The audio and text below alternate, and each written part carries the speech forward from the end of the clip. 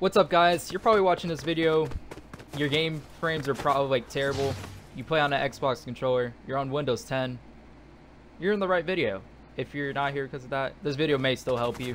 But basically, uh, Microsoft released a very bad update and it causes your frames to completely die. Like, I'm talking about completely die. I already fixed it, so my game like, is running super good.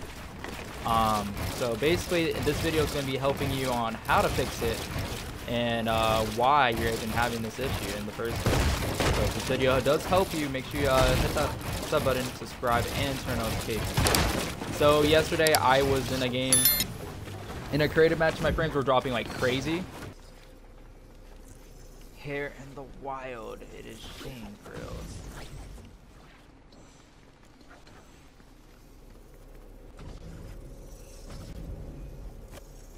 And I switch over to my keyboard and it was perfectly fine. Like I switch instantly back to my keyboard. I'm, ba I'm back up to buttery 200 frames. but my PC is dying, Folges. My mic's lagging. Yeah. Let me check if pops.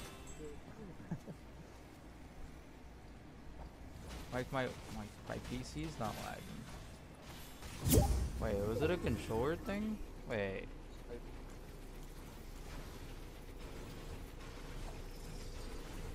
Wait, it is a controller thing. What?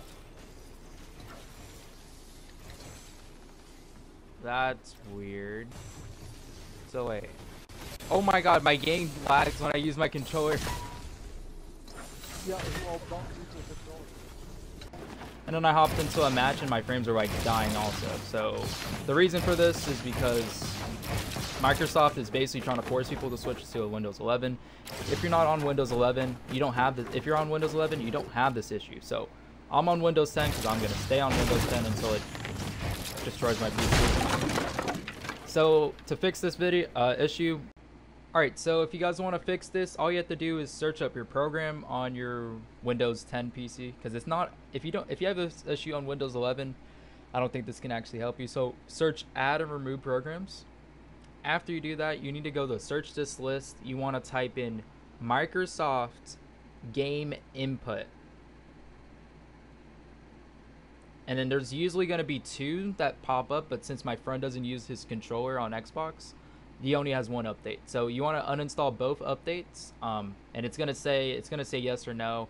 Um, his screen recording bugged out, but it's going to say yes or no. Just click yes uh, to whatever it asks you. And then after you do that, unplug your controller and then restart your game and it should work perfectly just like it did for me. And as you can see my game is like running perfectly like 240 like i'm not going down to 30 frames. So if this video did help you uh, make sure you hit that subscribe button like the stream i'm sorry um like the like the video uh, share it with your friends if this helps you and yeah, L Microsoft for making a switch to uh, Windows 11 or trying to force us. If you guys don't want to do all I did, you guys can just switch to Windows 11, but it's up to you.